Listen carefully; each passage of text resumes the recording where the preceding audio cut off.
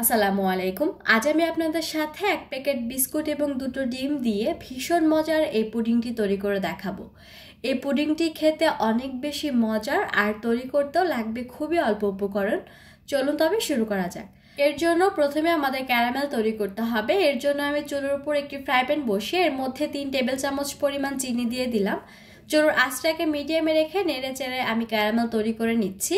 আর caramel তৈরি করার সময় কিন্তু একটু ধৈর্য ধরে ক্যারামেলটা তৈরি করতে হবে। আর ক্যারামেলের কালারটা যাতে বেশি ডার্ক হয়ে পুড়ে না যায়, এদিকে বিশেষভাবে লক্ষ্য রাখতে হবে।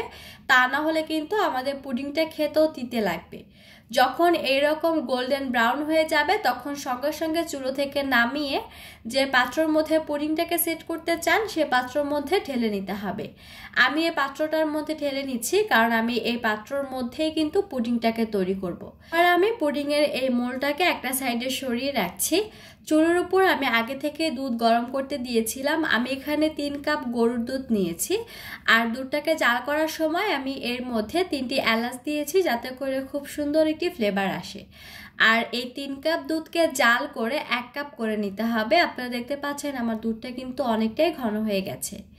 এবার আমি এখানে এক প্যাকেট বিস্কুট, সেই সাথে রুমের স্বাভাবিক তাপমাত্রা দুটো ডিম নিয়ে নিলাম। এবারের মধ্যে ঠান্ডা করা প্রথমেই সেই ঘন দুধটাকে ঢেলে দিচ্ছি।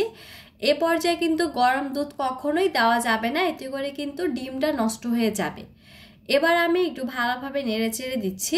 যেহেতু দুধটা জাল করার সময় এর মধ্যে কোনো চিনি দেয়নি যার জন্য এখানে দিয়ে দিচ্ছি ওয়ান থার্ড কাপ পরিমাণ চিনি।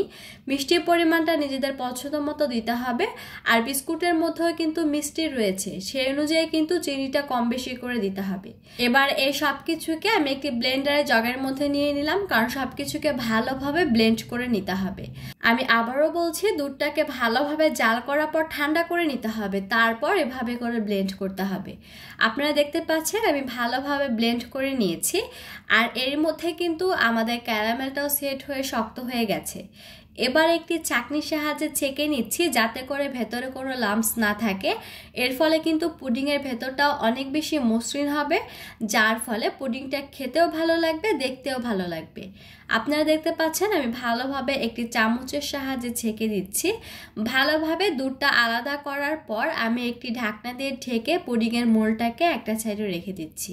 এবার পুডিং স্টিম করার জন্য আমি এখানে চুলোর উপর বড় একটি পাত্র বসিয়ে এর মধ্যে দিয়ে দিচ্ছি পর্যাপ্ত পরিমাণের কুসুম গরম পানি। আর পানিটাকে একটু বুঝে দিতে হবে যাতে করে পুডিংয়ের মোল্ডের অর্ধেক পরিমাণ থাকে। এখানে আমি সাবধানে একটি স্ট্যান্ড বসিয়ে এর মধ্যে পুডিংয়ের মোলটাকে দিয়ে দিলাম। এবার ঢাকনা দিয়ে ঢেকে মিডিয়াম আঁচে পুডিংটাকে স্টিম করে নিতে হবে ঘড়ি ধরে 30 মিনিটের জন্য। আমার ক্ষেত্রে সময়টা 30 মিনিট লেগেছে, তবে আপনাদের ক্ষেত্রে সময়টা কিছুটা কম বেশি লাগতে পারে। আর পুডিংটাকে বেক করার সময় কিন্তু চুলোর আঁচটাকে বাড়িয়ে দেওয়া যাবে না।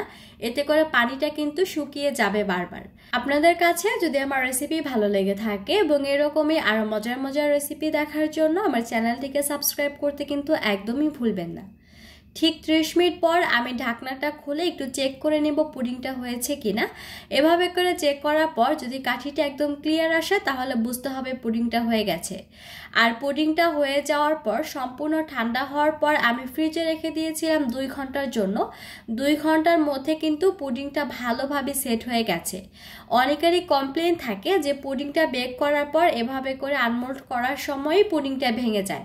যারা গরম অবস্থায় পুডিংটাকে আনমোল্ড করতে চান তাদের পুডিংটাই কিন্তু ভেঙে যায়। ফ্রিজ থেকে বের করে ঠান্ডা অবস্থায় পুডিংটাকে আনমোল্ড করতে হবে, এতে করে পুডিংটা কিন্তু একটুও ভাঙবে না। আপনারা নিশ্চয়ই দেখে বুঝতে পারছেন আমার এই পুডিংটা কত বেশি পারফেক্ট হয়েছে।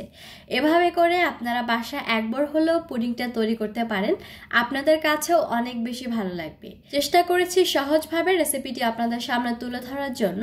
তারপরও যদি কোথাও বুঝতে অসুবিধা হয়, আপনারা আমাকে অবশ্যই কমেন্ট করে জানাবেন।